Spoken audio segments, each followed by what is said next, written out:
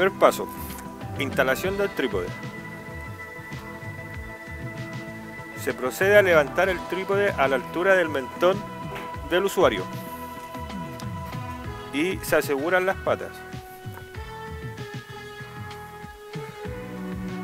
Luego de manera perpendicular se deja sobre el punto de referencia.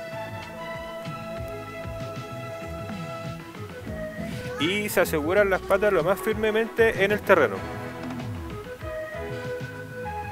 En el punto eh, en el que se estaciona el trípode y próximamente la estación debe tener eh, coordenadas y cotas conocidas.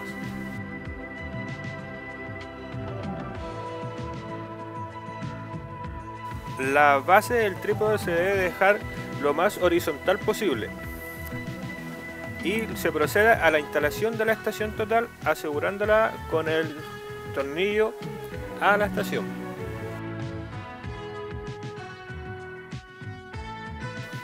Luego se nivela el nivel esférico de la estación con dos de las patas del trípode. La idea es dejar la burbuja lo más al centro posible.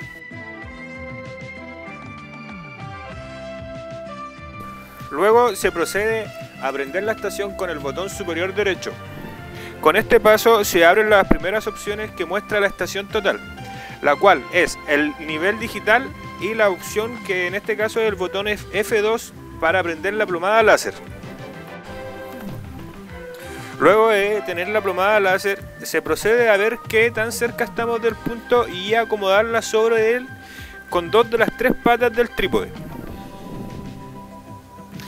En este caso la plomada láser no se logra captar con la cámara por problemas de luz.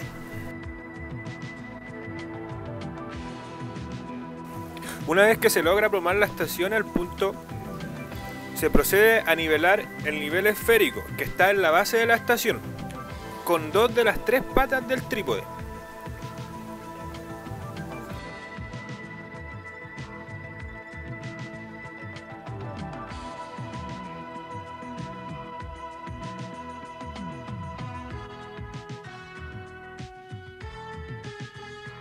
Luego se procede a nivelar el nivel digital que se presenta en la pantalla de la estación. Para esto se utilizan los tornillos nivelantes que están en la base de la estación, dejándolo con un error máximo de 5 segundos.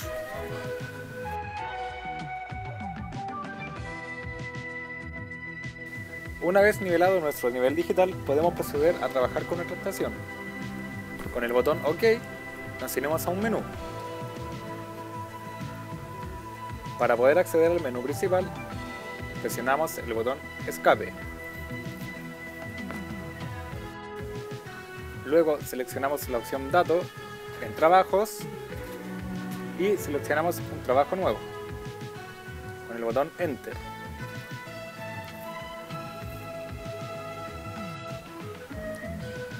Como podemos apreciar, al lado derecho aparecen unos números. Estos son los datos que existen por cada trabajo.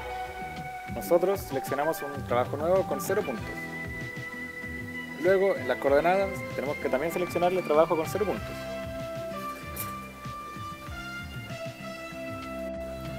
En detalle del trabajo, con motor Enter, podemos modificar el nombre del trabajo para poder ponerle el nombre que usted quiera.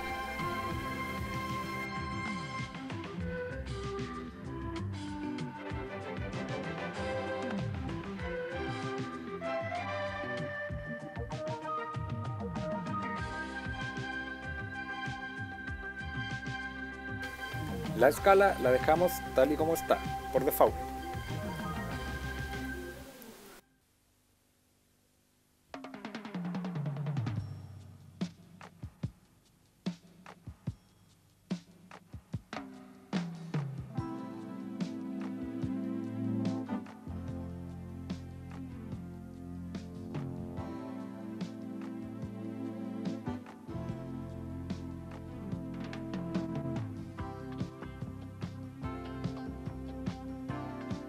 Luego accedemos al menú y con el botón Func podemos cambiar de página hacia coordenadas. Aquí ingresaremos las coordenadas al punto donde estamos estacionados. que en este caso serán 1000 para el norte, 500 para el este y la cota de 100. En HI se ingresa la altura de la estación, la cual se mide desde el punto estacionado hasta la línea para medir que se encuentra en el borde de la estación.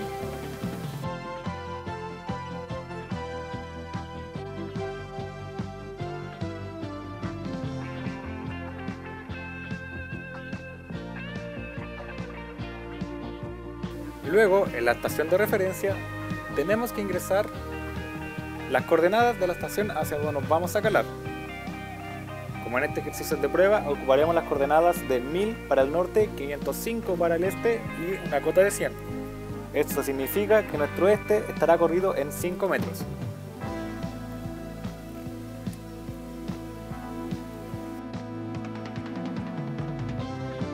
Aquí nos instalaremos con el calón a 5 metros de la estación para verificar las coordenadas ingresadas hacia el calaje.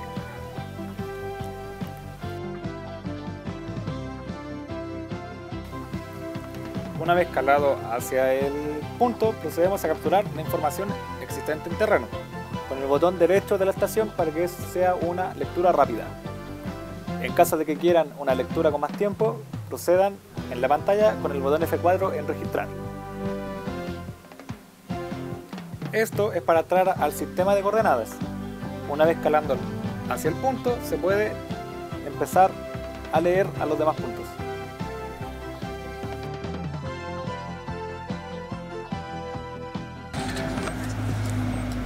Sonidito.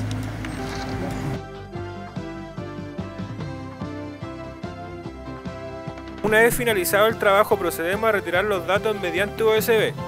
Para esto seleccionamos la opción USB que se encuentra sobre el botón F3.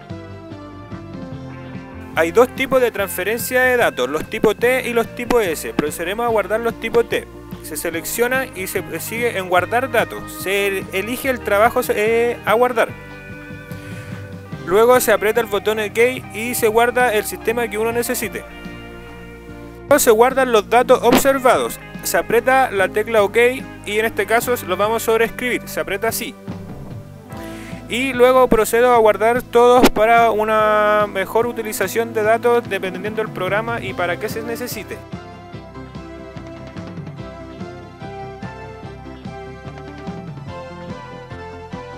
Los cuatro sistemas se guardan de igual manera que el primero.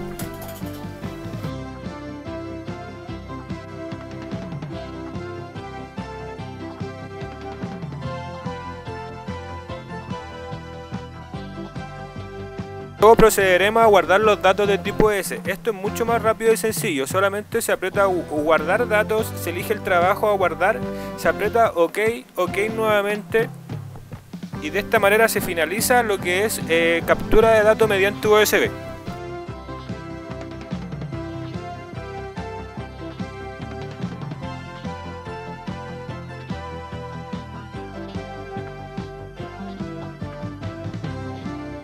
Con la utilización de los datos con el programa TopCon Link.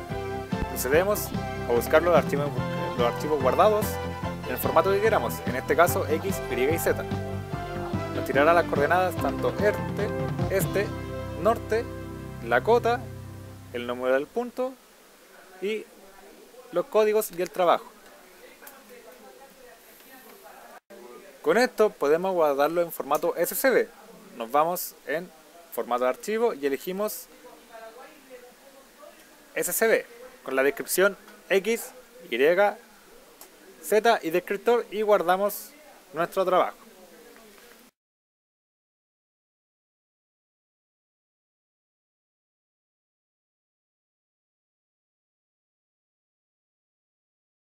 Aquí abrimos nuestro SCB y nos damos cuenta que está punto, norte y este. Para poder pasarlo a AutoCAD, ocupamos el comando concatenar y procedemos primero con los estes, coma, comillas, coma, comillas, coma y el norte para dejarlos 500, 1000. Luego arrastramos hacia abajo para tener los demás datos. En AutoCAD, con el comando puntos, lo seleccionamos, con el clic derecho eh, pegamos los puntos y nos saldrá en AutoCAD. Como podemos ver, son los mismos puntos que teníamos en terreno. Activamos OSNAP para ver los puntos, para proceder a dibujar una polilínea, para ver cómo nos quedó nuestra poligonal en terreno. ¿Sí?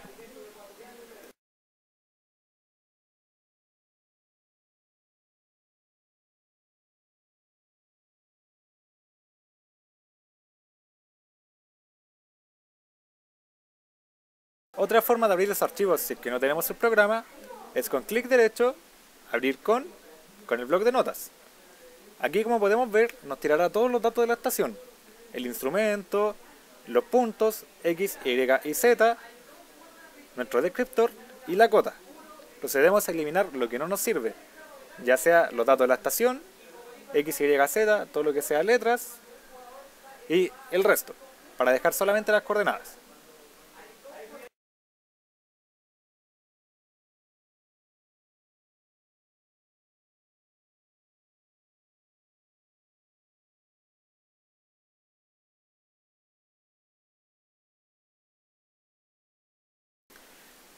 Luego ordenamos nuestro bloc de notas y colocamos el comando point. Y separamos cada coordenada con un espacio. Y luego lo guardamos como un script para poder ingresarlo a AutoCAD.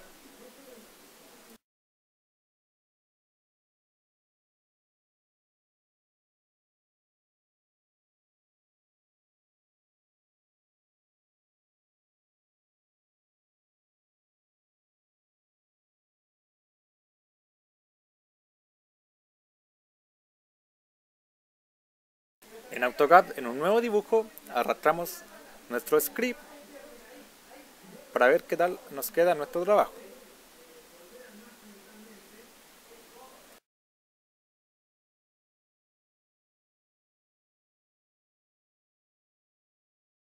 Para poder buscar los puntos, ya que no los podemos ver porque son muy pequeños, hacemos un zoom extendido. Si es que no lo podemos ver, podemos cambiar el formato de punto con el comando ddptype.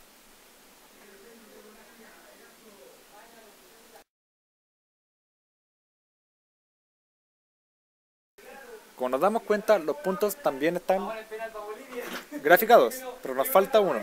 Usualmente, cuando se hace con bloc de notas, no siempre queda muy bien, porque no se recopilan los datos como en el programa que está hecho para la estación.